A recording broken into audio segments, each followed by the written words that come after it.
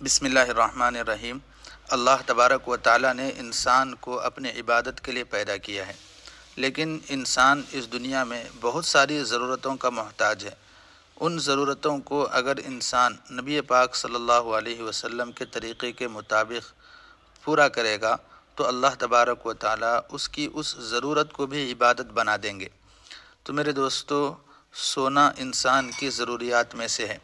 اگر ہم سون اگر ہم رسول اللہ صلی اللہ علیہ وسلم کے طریقوں کے مطابق سوئیں گے، تو انشاءاللہ ہمارا سونا بھی عبادت بن جائے گا۔ تو اس لیے آپ حضرات سونے کی سونے کے آداب سن لیں اور ان کو اپنے زندگی میں لانے کی کوشش کریں۔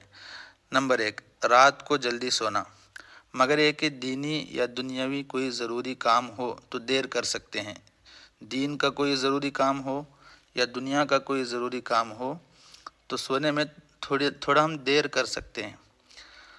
فضول ایسے ہی بیکار راتوں میں بہت زیادہ جاگنا یہ بری بات ہے۔ سنت کے خلاف کام ہے جو آج کل نوجوانوں کا فیشن بنا ہوا ہے۔ نمبر دو، گھر کے دروازے کو بسم اللہ پڑھ کر اچھی طرح بند کر دینا، یہ بھی سنت ہے۔ تو دروازہ بند کرتے ہوئے بسم اللہ پڑھ کر بند کرنا ہے رات میں۔ نمبر تین، برتن اور مشکیزیں وغیرہ ڈھانک دینا۔ برتن ہیں، چاہے وہ پانی کے برتن ہو کھانے کے برتن ہو تاکہ اس میں کوئی زہریلی چیز وغیرہ منہ نہ ڈالیں۔ لیکن اللہ کے نبی علیہ السلاۃ والسلام کے طریقوں کو اپنانے میں ہمارا یہ فائدہ ہے۔ نمبر چار، چراغ اور زائد لائٹیں وغیرہ بجھا دینا، یہ بھی سنت ہے۔ سنت سمجھ کر یہ کام کریں گے، اللہ اس پر بھی ثواب دیں گے۔ نمبر پانچ، باوضو سونا، یہ بھی سنت ہے۔ جب بھی سوئیں تو باوضو سوئیں۔ فرشتے ہمارے ساتھ ہوتے ہیں۔ بے وضو سونے سے فرشتے نہیں رہتے ساتھ میں۔ نمبر چھ، ہاتھوں میں چکناہٹ ہو تو اسے دھو کر سونا۔ اللہ کے نبی علیہ السلاۃ والسلام کی یہ تعلیم ہے۔ چکناہٹ کے ساتھ سوئیں گے ایسے ہی میٹھی کوئی چیز ہاتھ میں لگی ہوگی۔ تو رات میں کیڑے مکوڑے لگنے کا اندیشہ ہے۔ نمبر سات، بستر جھاڑ کر سونا۔ یہ بھی رسول اللہ صلی اللہ علیہ وسلم کی سنت ہے اور سنت ہی میں، سنتوں ہی میں ہمارا دنیا اور آخرت کا فائدہ ہے۔ بستر جھاڑنا کتنی بہترین سنت ہے۔ دیکھیں، اگر بستر میں کوئی چیز نقصان دہ ہو تو جھاڑنے سے وہ نکل جائے گی۔ نمبر آٹھ، سرما لگا کر سونا، یہ سنت ہے۔ انشاءاللہ اس پر عمل کریں تو آنکھوں کے بہت ساری بیماریاں ختم ہو جائیں گی۔ نمبر نو، سونے سے پہلے وصیت کرنا، یہ بھی سنت ہے۔ نمبر دس، اچھی نیت سے سونا، اچھی نیت کے ساتھ سونا اچھا سوچتے ہوئے، اچھے خیال میں، اچھے ارادوں اور اچھی نیت کے ساتھ سونا۔ نمبر گیارہ، سونے سے پہلے توبہ کر لینا۔ سونے سے پہلے صلاۃ التوبہ کی دو رکعت نماز پڑھ لیں۔ اور استغفر اللہ الذي لا الہ الا هو الحی القیوم و اتوب الیہ۔ اس دعا کو پڑھ کر سوئیں۔ اس کی بڑی فضیلت ہے۔ آپ صلی اللہ علیہ وسلم نے فرمایا، جو شخص بستر پر جاتے وقت یہ کلمات استغفر اللہ الذي لا الہ الا هو الحی القیوم و اتوب الیہ، تین مرتبہ پڑھے۔ تو اللہ سبحانہ و تعالیٰ اس کے گناہوں کو بخش دیتے ہیں۔ اگرچہ وہ سمندر کے جھاگ کے برابر ہوں، اگرچہ درختوں کے پتوں کے برابر ہوں، اگرچہ تہ بیتے جمے ہوئے ریت کے ذرات کے برابر ہوں، اگرچہ دنیا کے دنوں کے تعداد کے برابر ہوں۔ دیکھو کتنی بڑی فضیلت ہے۔ ہم سے دنیا جو ہے دن بھر نہ معلوم کتنے گناہ ہوتے رہتے ہیں۔ تو اس لیے ضرور جو ہے استغفر اللہ الذي لا الہ الا هو الحی القیوم و اتوب الیہ۔ تین مرتبہ پڑھ کر سونے کو اپنے اوپر لازم کر لیں، ٹھیک ہے؟ نمبر بارہ، اپنے دل کو کینہ اور حسد سے پاک کر کے سونا۔ یہ بھی بہت بڑا عمل ہے۔ اللہ کے نبی علیہ السلاۃ والسلام نے اس عمل پر جنت کی خوشخبری سنائی ہے ایک صحابی کے متعلق، ٹھیک ہے؟ تو دل کو کینہ سے، حسد سے، بھائی دل، دن بھر ہمارے جو بھی جھگڑے جو بھی ہوئے ہیں، سب کو معاف کر کے سونا ہے۔ حسد سے کینے کو دل کو صاف کر کے سونا ہے۔ نمبر تیرہ، تہجد کی نیت کر کے سونا ہے۔ دیکھو بھی، تہجد بہت بڑا عمل ہے۔ دعاؤں کے قبول ہونے کا وقت ہوتا ہے۔ اللہ اس وقت آسمان میں آ کر ندا لگا رہے ہوتے ہیں کہ کوئی ہے مانگنے والا کہ میں اس کو عطا کروں۔ تو تہجد کی نیت کر کے سونا ہے، ٹھیک ہے؟ نمبر چودہ، حدیث میں وارد مسنون دعائیں پڑھ کر سونا۔ دیکھیں، حدیث میں مختلف دعائیں آئی ہیں۔ آپ آپ کو جو دعا یاد ہے، اللہم بسم کا اموت و احیاء ہے، یا اس طرح کی جو بھی دعائیں آپ کو یاد ہیں، ان دعاؤں کا اہتمام کر کے سونے کی کوشش کریں، ٹھیک ہے؟ اور دعاؤں کے علاوہ نمبر پندرہ، آیت الکرسی پڑھ کر سونا۔ دیکھیں، اس کی بھی بڑی فضیلت آئی ہے حدیث میں۔ اگر ہم سوتے ہوئے آیت الکرسی پڑھ کر سوئیں گے تو شیطان ہم سے بالکل دور ہو جائے گا۔ ہم اللہ کی حفاظت میں آئیں گے، ٹھیک ہے؟ نمبر سولہ، سورہ بقرہ کی آخری دو آیتیں پڑھ کر سونا۔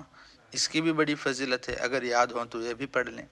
نمبر سترہ، سورہ کافرون پڑھ کر سونا۔ قلیہ ایوہ الکافرون اس کی بھی بڑی فضیلت ہے کہ اللہ کے نبی علیہ السلام نے فرمایا کہ جو سورہ کافرون پڑھ کر سوتا ہے، اللہ شرک سے اس کی حفاظت کرتے ہیں، گھبراہٹ سے اس کی حفاظت کرتے ہیں، ٹھیک ہے؟ نمبر اٹھارہ، دیکھیں، اگر یہ پورے معمولات نہیں کر سکتے ہیں تو یہ اٹھارہ نمبر کا جو معمول ہے اس کو آپ ضرور کریں، کیونکہ اللہ کے نبی علیہ السلام پابندی کے ساتھ اس کو کیا کرتے تھے۔ سورہ اخلاص اور قل اعوذ برب الفلق اور قل اعوذ برب الناس پڑھ کر دونوں ہتھیلیوں پر دم کر کے اپنے پورے جسم پر پھیرنا۔ قل هو اللہ وحد، قل اعوذ برب الفلق اور قل اعوذ برب الناس۔ یہ تینوں صورتیں پڑھ کر دونوں ہتھیلیوں پر دم کر کے پورے جسم پر پھیر کر کر سونا۔ اس پر ضرور آپ جو ہے عمل کرنے کی کوشش کریں، کیونکہ دیکھیں حضرت عائشہ رضی اللہ عنہ فرماتی ہیں کہ اللہ کے نبی صلی اللہ علیہ وسلم جب سونے کے لیے بستر پر تشریف لاتے تو اپنی دونوں ہتیلیوں پر قل هو اللہ احد، قل اعوذ برب الفلق اور قل اعوذ برب الناس پڑھ کر پھونکتے، پھر دونوں ہاتھوں کو اپنے چہرے پر اور بدن پر جہاں تک ہاتھ پہنچتے پھیرتے۔ یہ اللہ کے نبی علیہ السلام کا معمول تھا، تو اس کو عمل میں لائیں گے تو انشاءاللہ بڑا نفع ہوگا۔ اور اس کے علاوہ بھی بہت ساری صورتیں ہیں پڑھنے کی، جیسے دیکھیں، نمبر انیس، سورہ الف لامیم سجدہ، سورہ ملک، سورہ بنی اسرائیل، سورہ زمر زمر پڑھ کر سونا۔ نمبر بیس مصبحات یعنی سورہ سورہ حدید، حشر تقابن جمعہ اور سورہ اعلیٰ پڑھ کر سونا۔ نمبر اکیس، داہنی کروٹ پر سونا۔ نمبر بائیس چہرے کے نیچے داہنا ہاتھ رکھ کر سونا اور تین مرتبہ یہ دعا پڑھنا۔ اللہم قینی عذابک یوم تباس و عبادک۔ نمبر تیئیس، نیند آنے تک اللہ سبحانہ و تعالیٰ کا ذکر کرنا، ٹھیک ہے؟ اور اس کے بعد نمبر چوبیس میں ایک دعا ہے، اگر یہ یاد ہو رہی ہے تو پڑھ لیں۔ یا پھر اس کو رہنے دیں۔ ایک بار میں پڑھتا ہوں، پھر بھی سن لیں۔ نیند نہ آنے پر یہ دعا پڑھنا ہے۔ اگر کسی کو نیند نہیں آ رہی ہے تو اس وقت یہ دعا پڑھنا ہے۔ اللہم رب السماوات السبعی وما ازلت ورب الارضین وما اقلت ورب الشیاطین وما ازلت کلی جارن من شر خلقک کلیہم جميعا ان یفرط علی احد منہم او ان یبغی عز جارک وجل ثناؤک ولا الہ غیرک ولا الہ الا انت۔